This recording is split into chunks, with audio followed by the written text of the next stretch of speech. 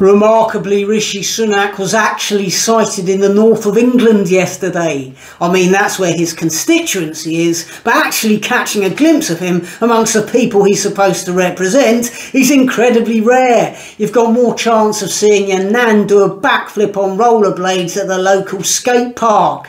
Yet there he was, not actually in Richmond, Yorkshire, his constituency, but an hour and a half down the road in Morecambe, Lancashire. Still, good effort. Perhaps he just got lost on the way to Richmond. Understandable, as there's every chance he's never actually been there before. He turned up in Morecambe as part of the government's nonsense vague levelling up initiative, where they've all been chuntering on about investing in poorer areas of the UK, particularly in the north of England, to make themselves sound a bit more caring, to pander to traditionally red wall voters who turned their backs on Labour and voted Conservative at the last election. I wouldn't bank on that happening again, Rishi, mate.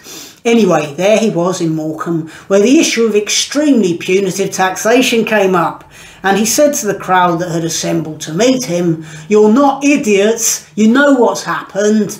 Apparently, the war in Ukraine and the COVID pandemic means he's had to raise taxes to eye-watering levels, impoverishing even those on a middle income. And anyone who doesn't understand that is an idiot.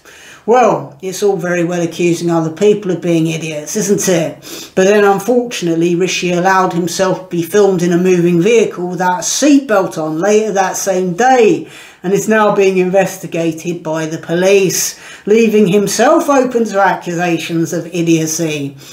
But that's Sunak's weakness, of course hubris. He has an innate sense of superiority. He thinks we're all stupid compared to him.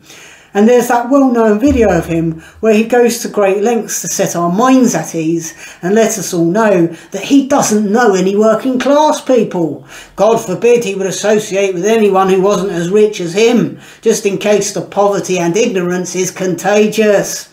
Well, here's the thing, Rishi. Cutting taxes isn't so stupid, is it? We have no obligation to Ukraine. The situation there has nothing to do with us, and yet we seem to be taking a greater role than most nations in bankrolling the conflict. As for the pandemic, you were an integral part of the government that made the catastrophic mistake of locking us all down for two years. So you're really in no position to talk about idiocy. It's very simple. You make tax cuts, you give small businesses room to breathe and grow. You let people spend their own money and in so doing stimulate the economy rather than sinking all of our tax revenue into terminally failing public services staffed by incompetent work-shy management. You cut public spending on benefits and in so doing end this culture of long-term sick leave from work where people can access as much money just sitting at home and claiming illness as they can if they in fact show up at their jobs. You cut taxes and make this country hospitable to wealth creators, large profitable organisations with proper jobs to offer people, wealthy individuals with money to spend as they see fit, rather than have snatched back off them to toss into a public spending black hole.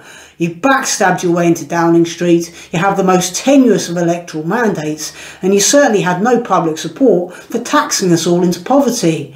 Nor do British voters and taxpayers wish to see you jetting off all over the world, glad-handing and backslapping creepy globalists at eco-catastrophising jamborees in some of the world's most opulent tourist resorts.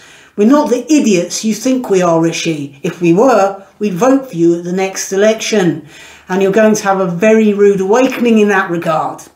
Please do like and subscribe and support my content by following the links below this video. Also, please do check out my return to stand up, now available to view on the Comedy Unleashed YouTube channel, a link for which you can also find beneath this video.